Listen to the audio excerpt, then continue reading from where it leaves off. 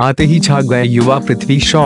Man of the match बन तोड़ा धवन रोहित अश्विन का रिकॉर्ड टीम इंडिया ने वेस्ट इंडीज को पारी और दो सौ बहत्तर रनों से मात देकर दो मैचों की टेस्ट सीरीज़ में एक से शून्य से अजय बढ़त बना ली है।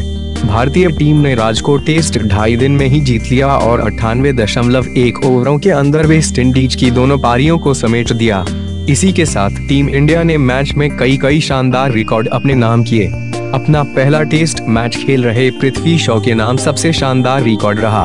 उनकी शानदार बल्लेबाजी के दम पर टीम इंडिया ने वेस्ट इंडीज के खिलाफ ऐतिहासिक जीत दर्ज की है। बता दें कि पृथ्वी शॉ अपने टेस्ट डेब्यू में सेंचुरी लगाकर मैन ऑफ़ द मैच बनने वाले खिलाड़ियों की फहरिस्त में शुमार हो गए हैं। खास बात यह है कि वे सबसे कम उम्र में डेब्यू टेस्ट में ऑफ़ द मैच प्लेयर बने हैं।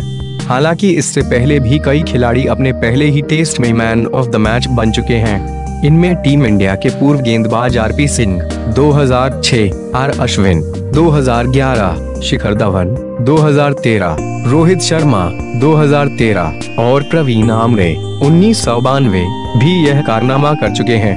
गौरतलब है कि वेस्ट इंडीज के खिलाफ पहले टेस्ट में शॉ ने एक सौ चौवन गेंदों पर 19 चौकों की मदद से एक रन की शानदार शतकीय पारी खेली थी। पृथ्वी के अलावा इस मैच में कप्तान विराट कोहली और रविंद्र जडेजा ने भी शतकीय पारी खेली।